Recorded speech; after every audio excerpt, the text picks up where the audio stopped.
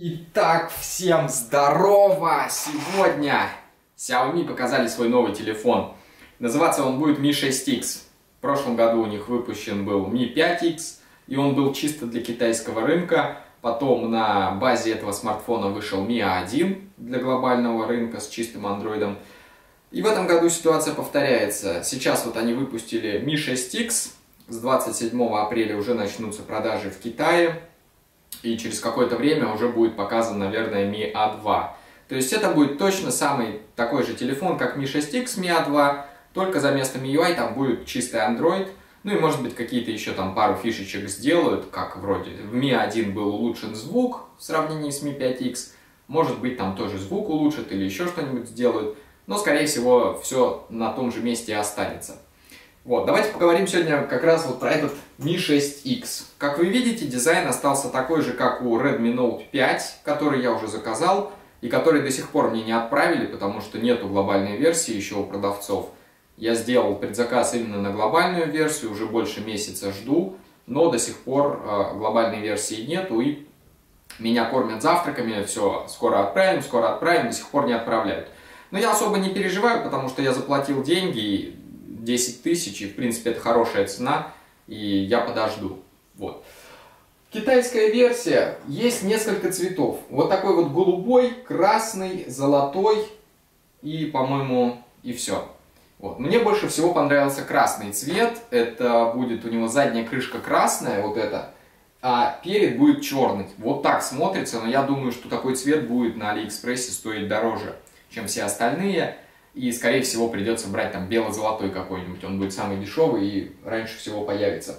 А в отличие от того же Redmi Note 5, вы как все знаете, у Redmi Note 5 у него есть пластиковые вставки снизу и сверху, но у Mi 6X уже пластиковых вставок нет. То есть это цельнометаллический корпус, ну и это, конечно, лучше. Без этих пластиковых вставок они со временем не расшатаются, это уже совсем другое впечатление, когда берешь цельнометаллический телефон в руку.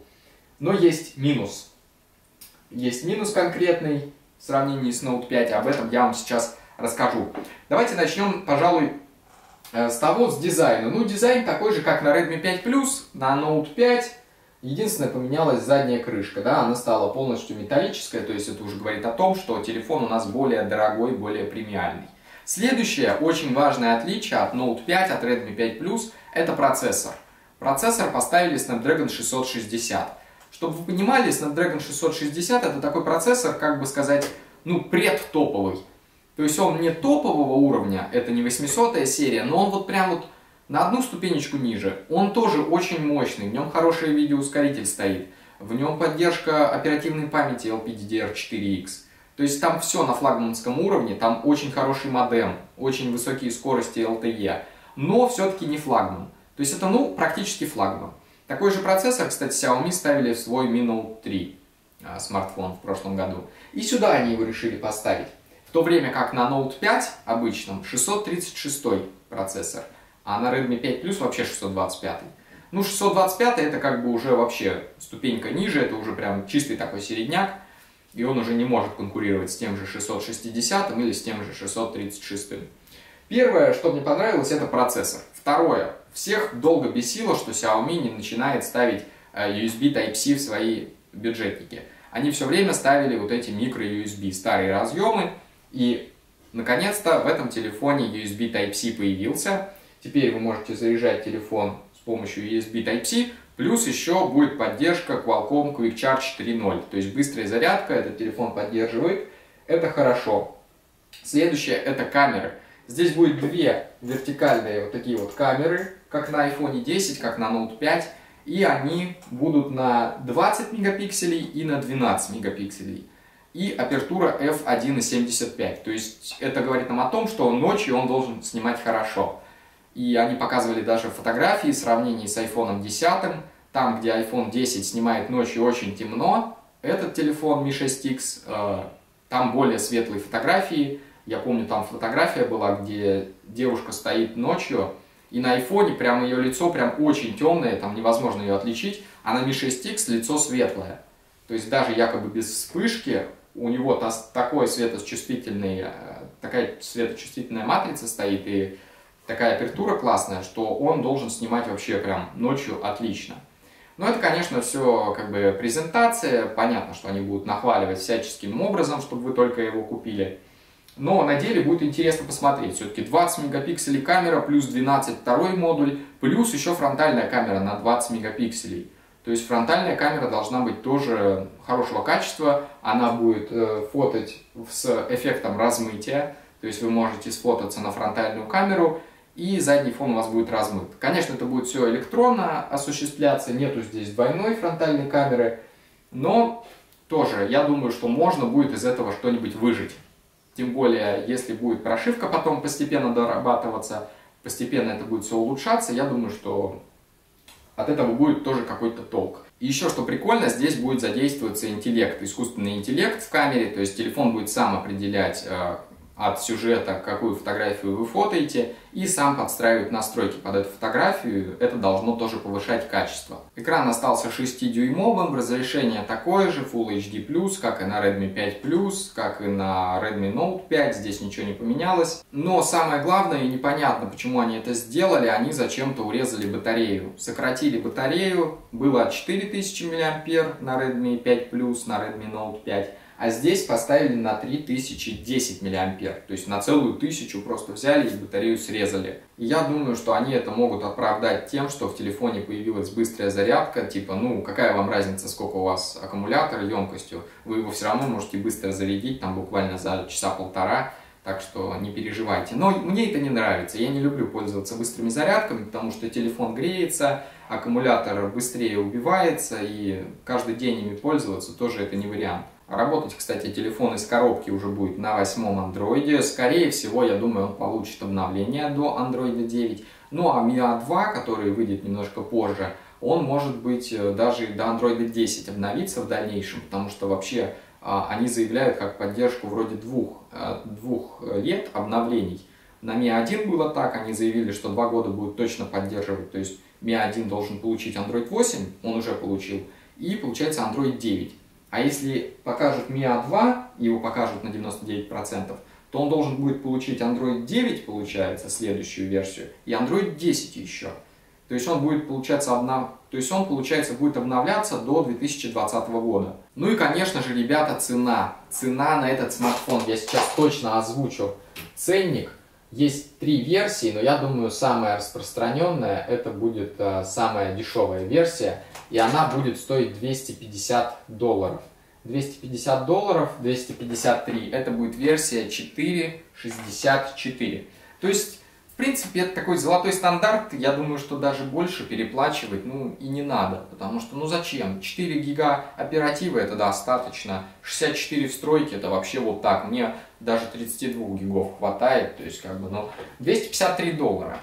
Вот такая вот цена. То есть это уже не совсем бюджетно получается, но не забывайте, а, когда вышел только Mi A1, я его покупал сначала за 230 долларов, а потом буквально через полгода он там подешевел до 180, то есть цена, я думаю, упадет, и может быть к концу года он будет стоить где-то 210-220 долларов, ну это я так думаю. Ну, Mi A2 я имею в виду. Mi 6X лучше сейчас не брать, конечно, потому что, скорее всего, он будет для китайского рынка, скорее всего, там не будет даже глобальной версии, а, глобальной прошивки. Вот, так что ждать лучше Mi A2. 6 гигов 64 стройки будет стоить уже 285, то есть на 30 долларов дороже. То есть получается, если вы хотите прибавить 2 гига оперативы, вам придется доплатить 30 долларов. И будет супер версия, супер мажорная версия 6128. Вот такой вот объем огромный. А, лично я не понимаю смысла, как бы этот телефон все-таки не флагман, да, и ставить такой объем не в флагман я не вижу смысла. Я думаю, продажи такой версии будет очень на маленьком уровне. Все будут брать, конечно, 464. Вот такая вот версия, самая крутая, 6128, будет стоить уже 316 долларов. В этом смысла я не вижу, честно, потому что можно добавить там долларов 50 и взять уже Mi Mix 2, который уже на 835 Snapdragon, ну, который уже там, который, у которого есть NFC. Кстати, минус этого телефона который многих отпугнет опять от покупки, который опять людей а, расстроит. Многие надеялись, что сделают наконец-то что-то годное, недорогое с NFC.